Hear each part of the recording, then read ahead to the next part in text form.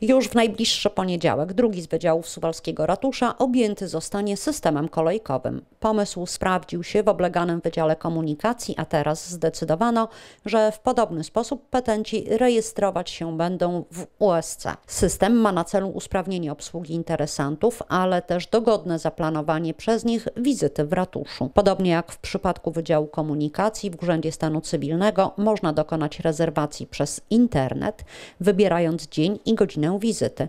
Osoby, które nie korzystają z internetu, nadal będą mogły osobiście odwiedzić urząd, ale po wejściu powinny pobrać z automatu bilet, na którym wydrukowany jest numer dostępnego stanowiska i liczba osób oczekujących oraz rodzaj sprawy, jaką chcemy załatwić. Tutaj kategorie są cztery urodzenia, małżeństwa, zgony i odpisy aktów.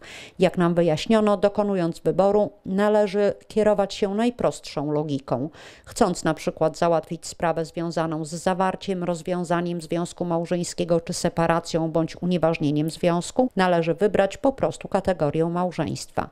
Jeśli chcemy załatwić jakąkolwiek sprawę związaną z dzieckiem, wybieramy kategorię urodzenia. Biletomat dla interesantów ustawiony jest przed wejściem do pokoju numer 15 15 Prócz informacji graficznej wyświetlanej na jego ekranie, petenci usłyszą również komunikaty głosowe.